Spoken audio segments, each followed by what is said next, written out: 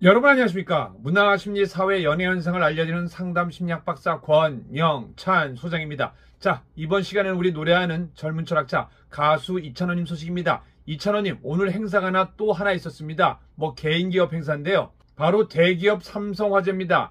2만 명의 RC님과 도입 에너지를 가득 채울 두 번째 막이 열립니다. 삼성화재 리크루팅 콘서트입니다. 우리 더 흥나게 영탁님과 이찬원님, 박지현님이 출연합니다. 더 감미롭게 성시경님, 멜로망스님, 거미님이 출연합니다.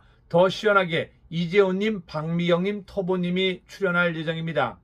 손에 손잡고 7월 17일 오늘 송도 컨벤시아에서 진행이 될 예정인데요. 시간표를 보여드리겠습니다. 오전 11시부터 1시까지는 공연장 입장 시작이고요.